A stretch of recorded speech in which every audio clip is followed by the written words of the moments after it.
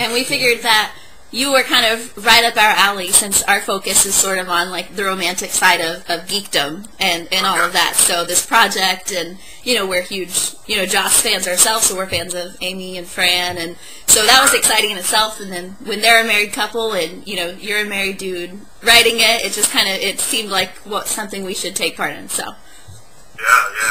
The, yeah, get the uh, romantic partnership of geekdom like going, yeah. Awesome. Awesome. Okay, so I know you uh, discussed some of this with her last night, but where did the idea for this particular film come from? Yeah, uh, it. I really, really just took it right out of reality that what you kind of see in the movie is pretty much what happened. I just came home from a concert, uh, my favorite band, the Chili Peppers, and uh, then it was just like, hey, let's play some Settlers of Catan, honey. And so play on the iPad, and because you know, if you, you know, on the board, you need a group of people. Although they have the new expansion where it is a two, a way to play with two people, but I haven't tried that yet. Uh, but so we just play on the iPad, and uh, then, uh, you know, things got a little crazy. Trash was talked, trades were rejected, and uh, and yeah, I, I had been looking for a short film that was kind of contained that I could film, and uh, and it just hit me. Oh, wait, I can just do this. Uh, so I wrote the script the next day. Um, yeah, that's pretty much where it came from. How much of it is uh, of the final version is based on actual events, and how much of it was sort of embellished or sort of created to make it more entertaining?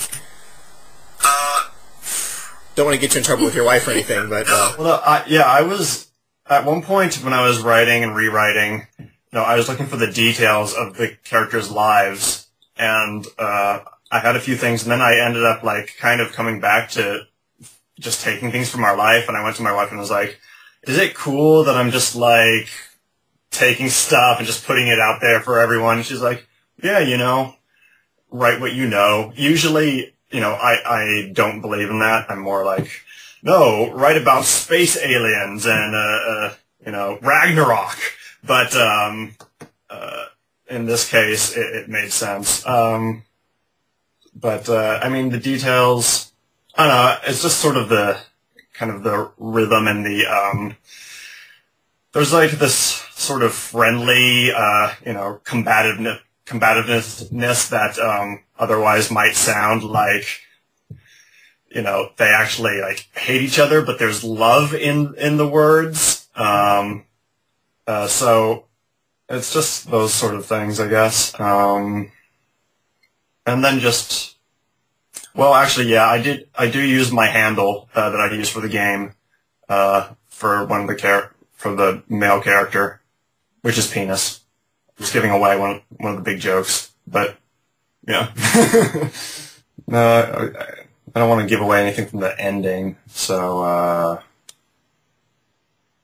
and the the her costume, her pajamas were kind of just taken from my wife. Um, she, uh, but we ended up getting a little different ones. But yeah, you know, just costumes and the rhythm of their, the way they interact and the just uh, details, some of the details of their lives, and I guess yeah, a few of the things they fight about. Like I may have switched around who was like fighting with who, like what the issues were, but I was like, oh, there's a little bit of reality there. So Cool, cool. So, what was the first day of filming like for you? What, did everything come together perfectly, or? I mean, I was uh, not sure uh, how I would feel getting back to set after such a, a long time. It'd been a few years since I directed anything, and nothing of this scope. Um, and it was a four-day shoot. But once I got on set, uh, I was just like, I loved it, uh, everything. I don't know. I guess I, I just I'm an egomaniacal bastard and like being able to just you know be the guy saying what I want to try and get. Um, I mean, in retrospect, uh, I think probably I was still kind of warming up uh, in terms of you know how I interact with the actors and giving direction. Um, and so you know it was definitely uh, so, sort of a journey that was different each day. Um, but we moved pretty quickly that first day and got everything we wanted to get. Um, except for this one shot, you know, that just never was co- cooperating.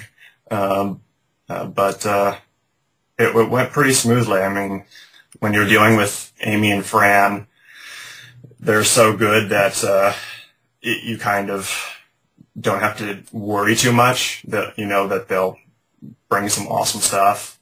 Um, that was like at rehearsal. I was like, oh, I, we need to like have all this time to like go over everything, and then it was like an hour, hour fifteen minutes, and they just ran through the script, and I was like, oh yeah, that actually worked. I, I had all these other things that I wrote these thing, these notes, these other lines. I didn't wasn't sure if this line would work, but like they totally made it work. So.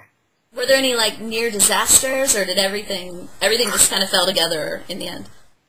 Um, let's see. Well, on day uh day three, I think uh, we were using uh, a jib and a rotating head and a dolly, uh, all in conjunction to get some complex shots.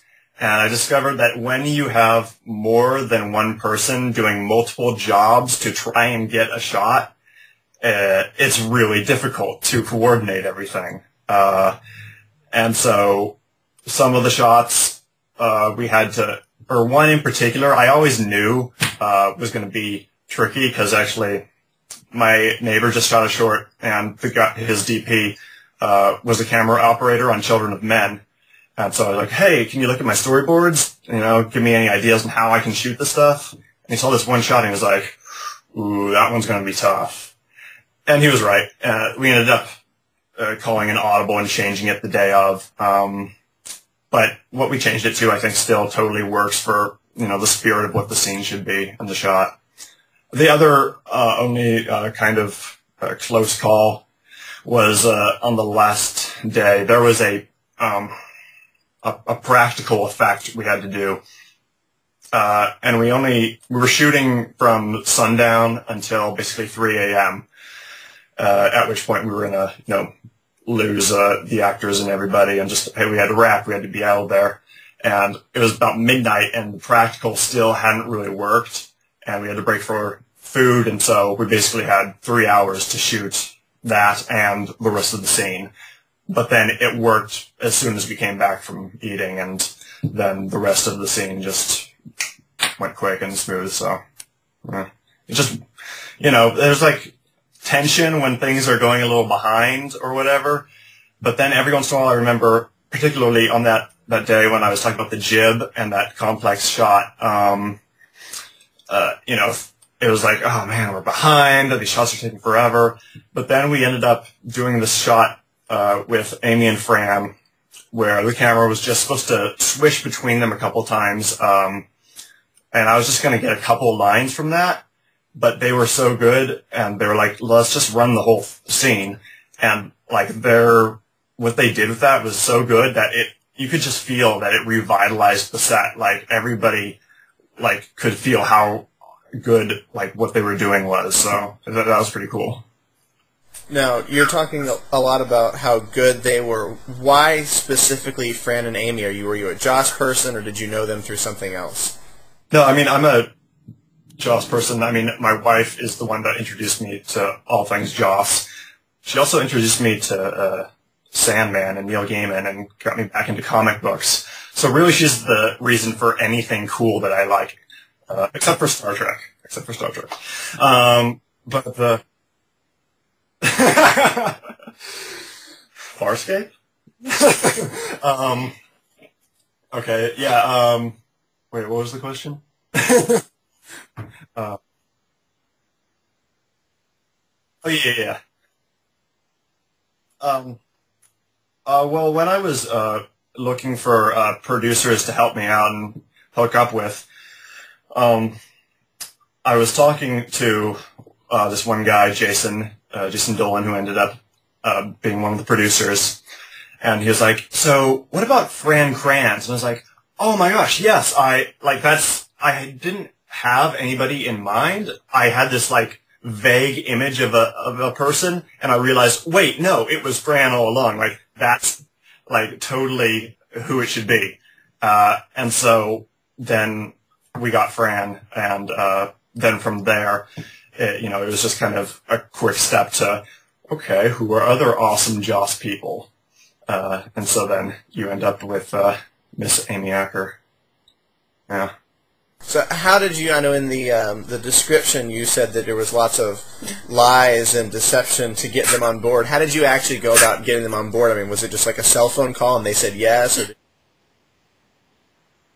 Uh, that's the that's the ten thousand dollar Kickstarter backer package. You get Amy and Fran's phone number. No. Um, uh, Jason is friends with Fran, so he was able to uh, personally sent him the script, and then we met and talked about the movie, and uh, and uh, I don't believe there were any particular lies or deceptions to get him on board. I, I guess I, I did tell him we'll, we would aim for a three-day shoot, always knowing it was probably going to be a four-day shoot.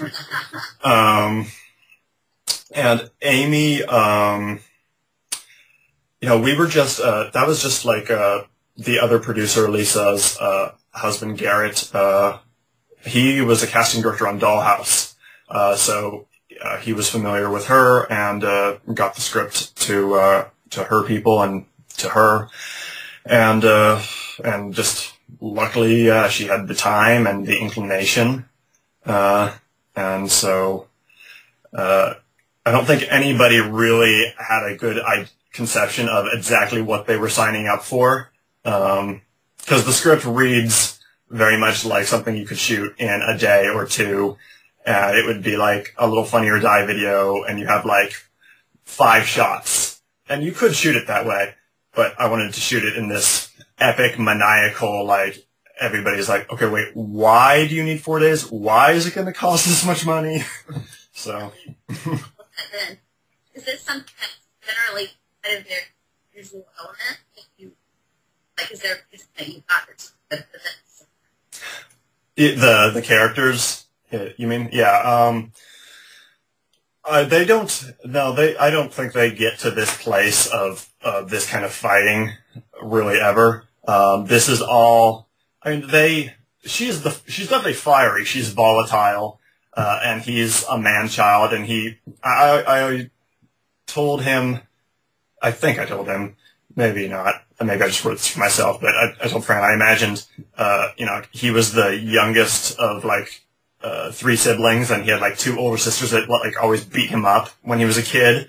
If it weren't for the game that takes them into this other realm that makes all these feelings explode like a volcano, um, you know, th- these are things that would be boiling under the surface, and there might be some, uh, you know, hidden aggression and passive aggression. Uh, uh, more passive on his side, more active on her side, but in terms of the screaming and the yelling and the chaos, uh, that's just that's the concept of the film and the idea that this this game uh, has a power of its own, uh, and it's kind of a demon that possesses them. So if the budget had been, you know, more or less unlimited, would this have been different? Would you have put them in space playing Catan, or or what would have what would have been different if you had all the funds for it? Um, I mean, I probably would have gone even farther with some of the production design, um, just in terms of building out uh, their world. Um, I mean, we we went pretty hardcore with it, but um, cons- especially considering the empty space we started with. Um, I mean, let's see, there was, I mean, well, we would have had a techno crane. Um, which probably would have made a few things go smoother. Uh, you know, it was just like some technical things where it was like, you know, well, for an extra five thousand dollars, we could have this one, or we could have this one that'll do just as well, pretty much. So a lot of times we would just go with the the one that'll be just as well, pretty much. Um, uh, but I, I, I, I was pretty much like not compromising a lot in terms of what I wanted. And if if I needed if I wanted something and I was I just pretty much was like no I need this. I have to get it. Um it, it might have been you know the location who knows that could have been different. Uh we were looking at another place this really nice loft, but it was really expensive. And but I was thinking like, you know, I don't know that the film would have uh, ended up or the events of the film would be the same if they were in a different living space. Because where we shot it, uh, it's kind of got this bohemian vibe to it. Uh, it's a little bit of like an industrial loft space that we then brought some life to. Um, and I feel like it was as if she moved into his space. And if we had gone to like a nicer place, it would have been him moving into her space, and that would totally change the dynamic of their relationship. So, um, exactly.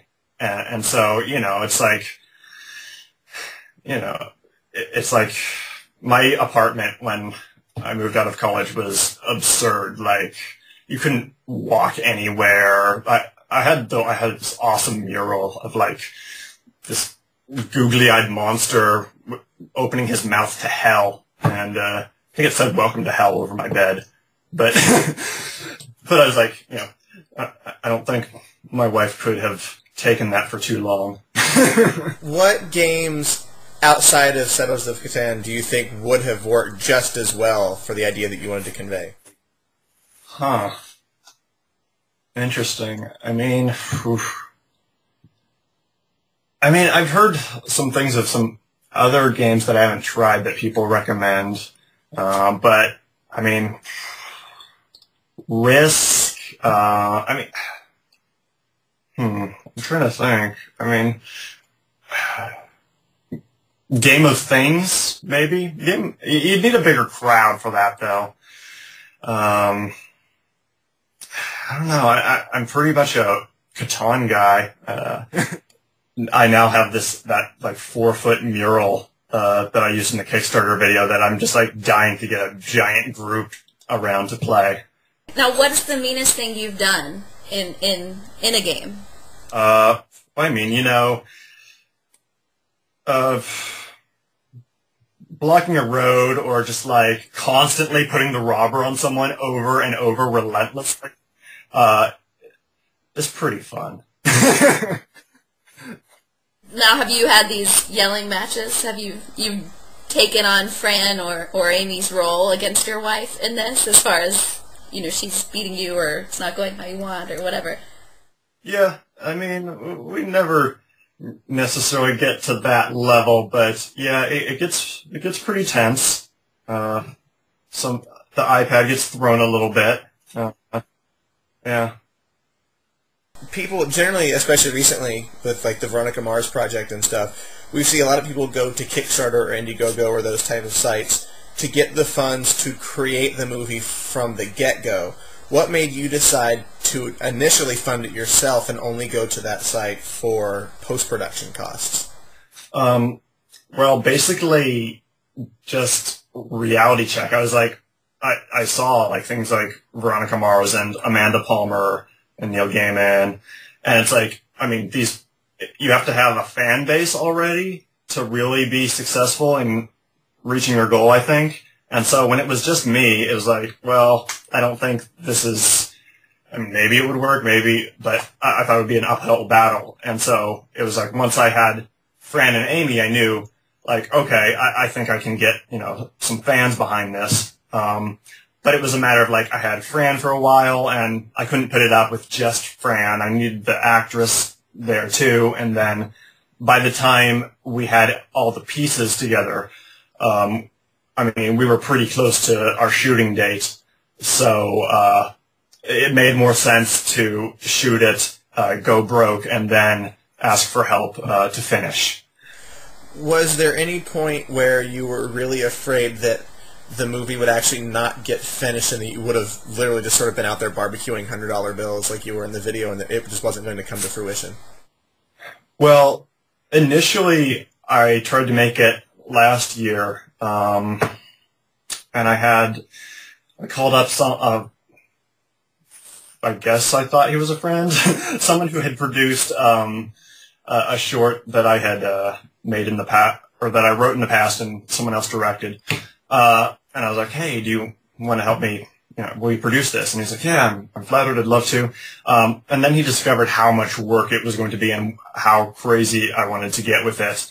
Uh, and it was, I mean, it, to his credit, you know, he was like, no, well, eventually he said, oh, no, it's too much, man. And, uh, and so I had to step off and I was like, okay, I was scrambling for another producer and I, I was like, oh man, it sucked. I was like pacing around my apartment. It's like, it, it ended up with like I would have to do a lot of the production stuff that a producer should do myself, uh, which is just, uh, you know, it's doable. It's just, it's not my thing. Uh, I just, it makes me so, so neurotic. So then I was like, okay, let's put it on hold. Uh, let's approach it right, make sure we do it right. And then, uh, after I had finished I had to do some other projects, some time freed up again, and I was like, okay, now it's time to do it. Um, so I mean that that was when mostly it, it seemed like it might not happen. Um, I mean, uh, and then just you know uh, until Amy came on came aboard, you know, it's it was still very much a question of like, what's our cast, you know, um, and uh, uh, but you know, other than that, uh, no, I, I don't think I ever questioned whether we would be able to finish it. So, what is what do you want people to be able to take from this? Whether they're married, single, whatever the case may be in their current situation, what do you expect people to take from this movie? I mean, for me, it's I guess it's just about the joy of fighting, uh, which is strange. Uh, if there's I don't know if there's a way I guess too, you know, there's no question you're going to have, you know, conflicts with your significant other. Um, but I guess it's just like, you know, try and keep it in perspective and like, like Catan, like, you know, it's a serious affair, but it's still fun. Like, so, I don't know, try not to, uh, uh, reach the level that Fran and Amy reach, but, you know, keep a, a, a healthy, a healthy, uh, you know, uh, venting of emotions through a game like Catan, I, th- I think can be a good thing for people. So, um, feel free to hate each other with love. so, if if Lord of Catan or Catan does well, what is your next step from here? What do you think your next project will be? I mean, there's a bunch of things I'm working on, but I mean, the one that I probably am most kind of invested in is this thing I've been working on. I mean, I've been working on it for years, and I'll probably be working on it forever. Uh, it's just, you know, it's that one. Um, it's a, it's called Bushido 44, and it's a modern uh, samurai movie. And uh, what happened was, I mean, I've been working on it as a comic project, and some speed bumps along the way, difficulties there with uh, some stuff. Uh, but uh, after the shoot uh, with Catan, I got home, and for some of the footage, we we were using a GoPro, you know, this tiny little camera. Uh, and I was like, well, man, I have this thing now. What am I going to do with it? Uh, I'm going to put on my samurai sword. so actually, I'm going to go show you.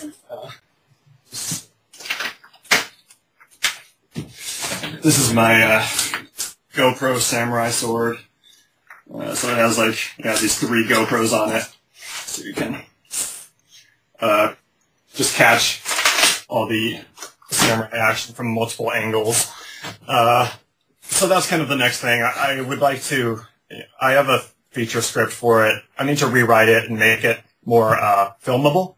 Uh, but uh, I'd like to shoot kind of the opening of that as sort of a teaser and a self-contained sort of short that I can then use to try and launch the feature.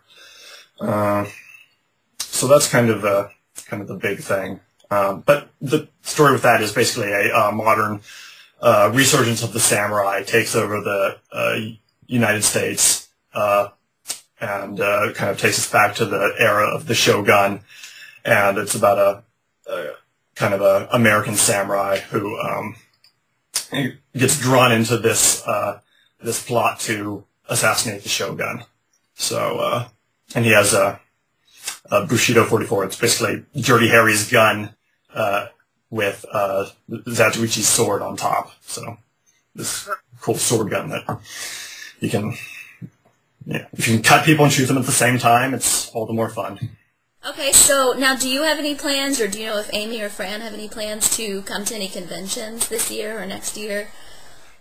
I'm, I mean, I don't know about them. I'm sure because I mean, I know they're doing much ado stuff right now.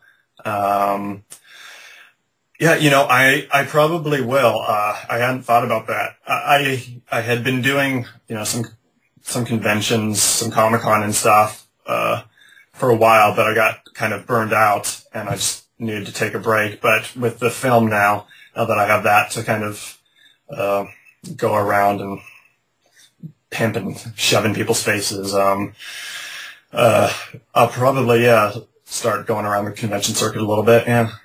Awesome. I think that is everything. You have answered all of our questions and given us lots of fun information, so thank you so you, very much. Do you have anything else to, to leave us with, or your fans' future or present? My favorite resource is sheep. Um, that's. oh yeah, oh yeah, the sheep. Uh, the sheep. I uh, I remember. So the guy came in, the sheep handler, and I was like, "Okay, what do you need the sheep to do?" I'm like, "Stand there and be a sheep." Uh, so he was like, "Okay, I can do that." Uh, but he was like, you know, okay, we can tie its legs so it doesn't, uh, you know, run around. We can tie it to the bed. And I was like, no, let's just, let's let it roam free. Let's invite the chaos. Uh, and then indeed it started to like eat the set and it pooped on the set. Uh, peed on the set. Uh, and so then I was like, okay, less chaos. Let's, uh, let's, uh, like, uh, tie it to the, the bedpost. Uh, so it's not running around trying to uh, eat the cameraman. Um, but the sheep was uh, the sheep was a good performer. Yeah.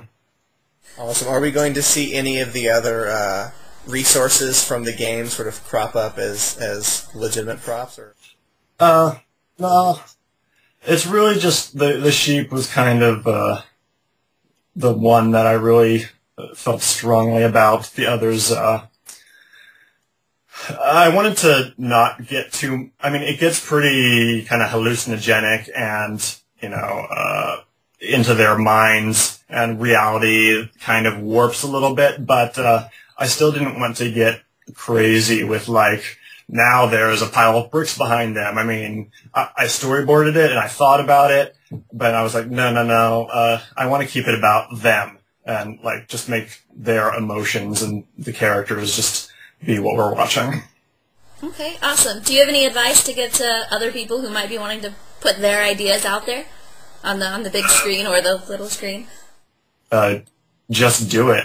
Um, don't. Uh, I mean, obviously, um, if you can raise money beforehand with Kickstarter, that is preferable than uh, you know emptying out your bank account, probably. But uh, you know, uh, there's something pure about uh, being stupid enough to uh, just spend money you don't have to uh, uh, make something. Um, you know, that, that's how some of you know the greatest people like we have now, you know, directors and just filmmakers get started. Um, but yeah, you know, don't try to go through the system just because the system is made to destroy you and not to create uh, anything original or good uh, or pure. Uh, so just say what you want to say, make it, and um, you know, hopefully it'll be good. But you know, just keep trying. Uh,